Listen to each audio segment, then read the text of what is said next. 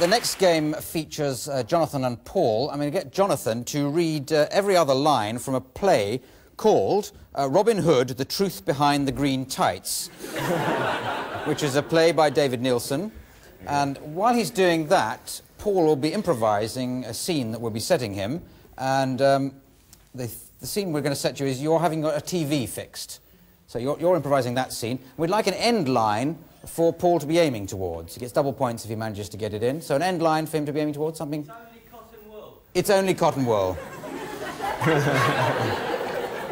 But Well, I like it. It's Rolling Stones song, isn't it? Yes. Very, very good. So uh, away you go, uh, starting way to improvise with uh, Jonathan reading every other line for you. You see, the problem is the vertical hold, i it's not holding, it's not holding. What are you doing with that sack? Well, I thought that if I put the sack over the top of the sort of the video, then that would stop any, because I thought maybe the TV was leaking onto the video. Oh, that sack. yes, that sack there. You think that's wrong then, to put a sack over the video? The good sheriff.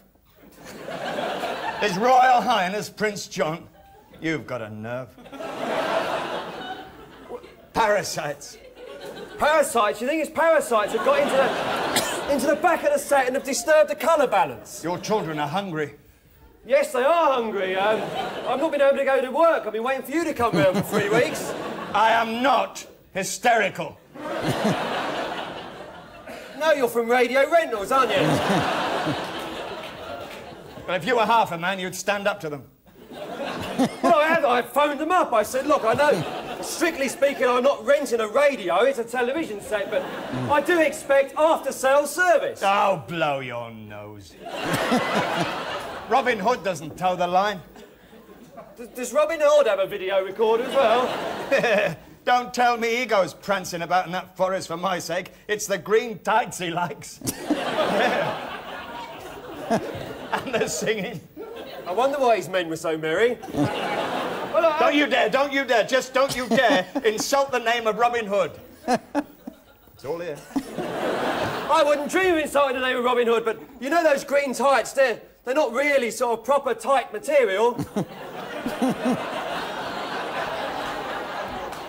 Greetings, Dick and Barleycorn. I'm sorry, I didn't realise I was, um... No, that's not Dick and Barleycorn, it's only cotton wool. Ah, phew.